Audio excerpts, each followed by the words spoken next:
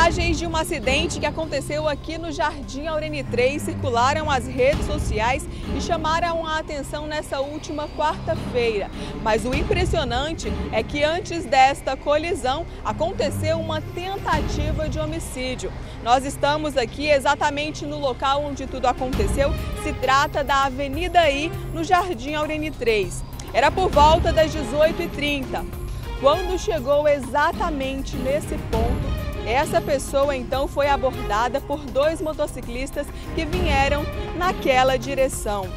Ao chegar nesse local, o garupa dessa motocicleta desceu e efetuou vários disparos de arma de fogo contra essa vítima, que conseguiu fugir dessa primeira abordagem. Ele subiu aqui na calçada e correu desesperadamente nessa direção. A gente observa que é bem movimentado por conta do comércio local.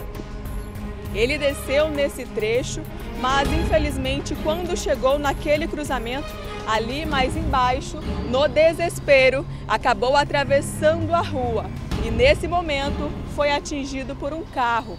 Mas os criminosos que tentaram tirar a vida desse homem não pararam só por aqui. Eles desceram na contramão em busca dele e assistiram ao acidente. Somente depois disso, eles fugiram do local. As câmeras de segurança que flagraram toda essa movimentação pertencem àquela loja. A população que presenciou essa situação ficou amedrontada.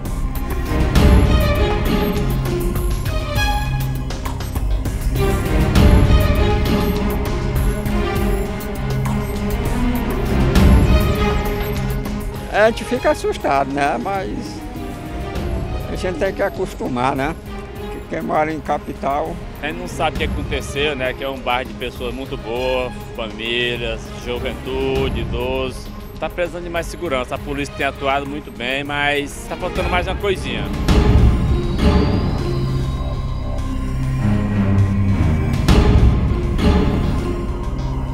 Deste outro ângulo, dá para entender ainda melhor como tudo aconteceu. O encontro da vítima com os dois ocupantes da motocicleta aconteceu onde está estacionado aquele primeiro carro de cor prata.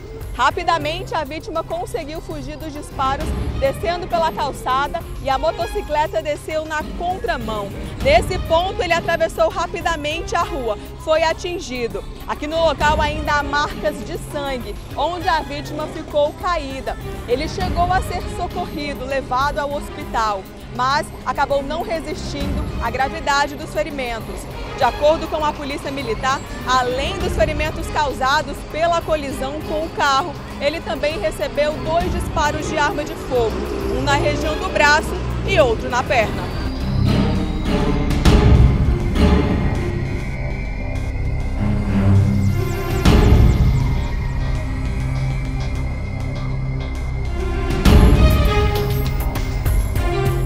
A vítima foi identificada como Marcos Elson. A Polícia Militar e a Guarda Metropolitana de Palmas estiveram no local. O homem chegou a ser socorrido ainda com vida pelo SAMU e levado ao hospital. Os suspeitos que estavam na moto não foram localizados. A Delegacia de Homicídios e Proteção à Pessoa da capital investiga o caso.